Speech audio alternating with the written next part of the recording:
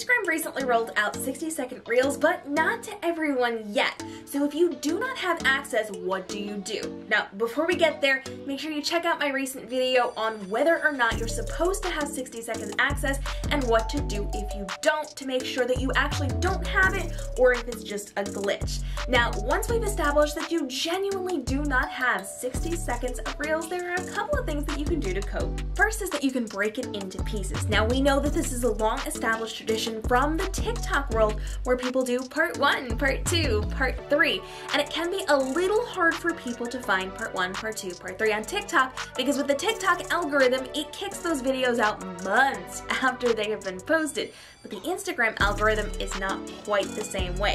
While it does kick some of the really high performing videos out for several weeks or maybe even longer, we know that the majority of these are only going to be kicked out in the next couple of days. So within a day or so of posting, that's where you're going to be getting the most views on your reels. So as you are creating these, it's actually okay to break it up into part one, part two, part three, whatever you need to accommodate the size reel that you have access to right now. Just make sure you cover one really important point in each and you do not drag it out so that you're filling up and wasting that time. You want to make sure that it is as condensed as possible and you're saying this is part one and part two or this is part one and you give one or two different bullet points that you fit into that 15 second or that 30 second reel and tell them how to see the next part of it. Keep in mind as you're breaking this into sections, you want to make sure that you are reiterating the topic and letting them know that it is part two or part three and how they can find the rest of the series so that they get the entire point of what you are trying to say. Now, another thing that you can do when you are creating part one, part two, part three is to make sure that you are creating a guide. So you want to make sure that you're using guides to create that playlist for yourself so that people can easily go through part one, part two, part three, and use it almost like a mini study of whatever it is that you're speaking on. And if you need help with guides, I've got that linked down below for you as well. You can also put these back to back to back. I would recommend putting them out very close to each other so people don't have to wait a long time to get the full point that you are trying to say. So put them out very closely together and then add them to your stories and you can even add them to your highlights. So once you post on stories, you're able to then create a highlight out of it so that people can easily find it. And if you have a really valuable point that takes up multiple reels, this is a great way to do it because it's so valuable that you're to put it on your highlights or in your guides to make sure people can easily find it. Now, if you don't want to break it into parts, you can actually post it on your main feed or you can post it to IGTV, which is a really good thing to be investing your time into right now because Instagram has started paying some creators to create IGTV videos. So this is video over 60 seconds. That means you're gonna have to push it a little bit longer, which means you may need a little bit of an extra explanation or something to get it over that 60 second mark. But this is going to be an area that is heavily pushed on the platform.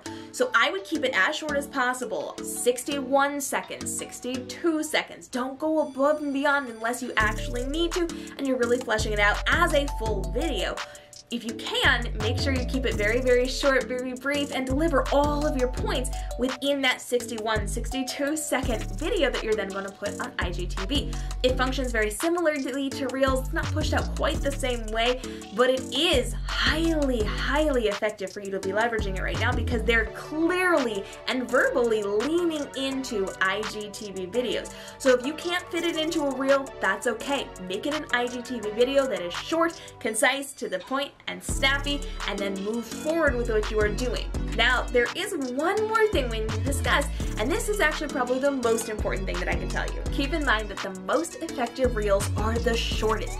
You should not be creating 60 second reels. That's just going to kill your watch time. Unless you are incredibly engaging and you have the most valuable point in the world, people are not sticking around for more than 15 or so seconds. In fact, we know from TikTok and from Instagram and YouTube and all the other platforms that are doing short form content that 7 to 15 seconds of video performs the best. Say what you need to say, but stop with the fluff. Get it as short as possible. We are not wasting people's time. Think about it this way. How do you scroll through Instagram? How do you scroll through TikTok? Do videos hold your attention for more than a few seconds before you scroll on?